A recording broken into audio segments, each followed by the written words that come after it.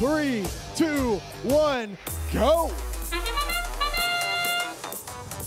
Team 4973 creating quite a havoc over in the Red Alliance side of the habitat.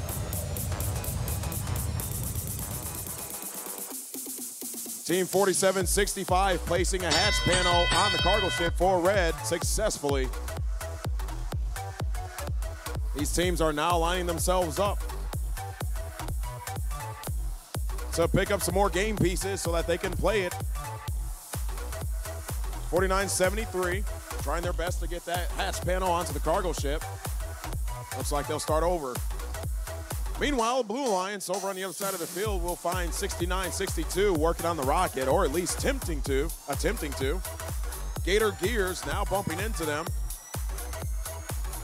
Looks like they're trying to distract them with the art of dancing. They spin around near the Blue Alliance robot. Minute and a half left to go in the match. 22 to 5, Red Alliance in the lead. Team 69-62 still finding a bit of trouble from Gator Gears. However, they end up figuring out the issue and placing the cargo.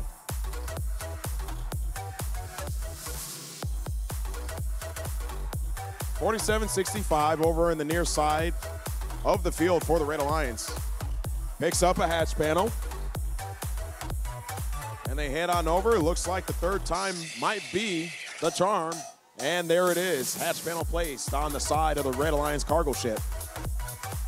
They're still maintaining their lead. A little over 10 points. Robot X with yet another cargo into the ship. They pick up another. They didn't have to go far, and there it goes. Blue Alliance playing fantastic. It's a 2v2 game. One robot down on both sides of the field. We're now down to 20 seconds remaining in qualification match number 55. Team 69-62 with yet another cargo placement. They're doing their best to cut that deficit down. Less than 10 seconds remaining. Blue Alliance had three robots on the platform. They have it again. One second to go, and that match is now in the books.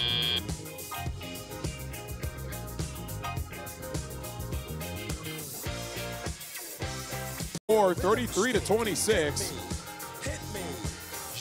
Red Alliance doing great to overcome the 2v2.